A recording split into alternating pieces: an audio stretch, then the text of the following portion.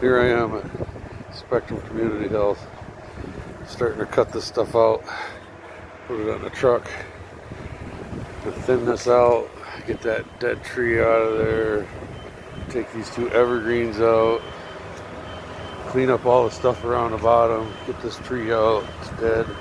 Leave these around, these bushes around the edge, trim this tree off of them, clean this uh, landscape thing out. Down at the end, I have a few more trees to take out that are dead, that apple trees in the bend.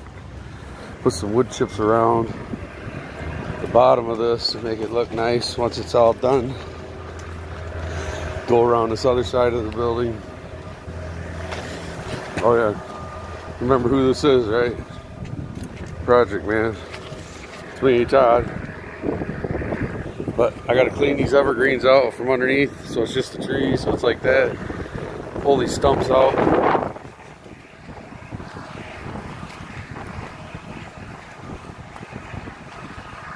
I think I'm just going to take this all out.